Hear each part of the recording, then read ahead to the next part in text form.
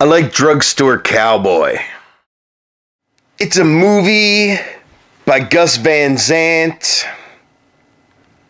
And if you asked me to name a cooler movie, I'd have to say I can't. The movie's about these druggies. Kelly Lynch plays Diane, and Matt Dillon plays Bob.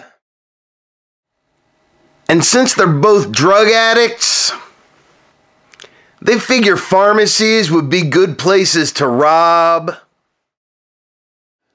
The movie has a lesson. Don't leave goddamn hats on the goddamn bed. Heather Graham's character, Nadine, didn't learn that lesson. And she ended up dead.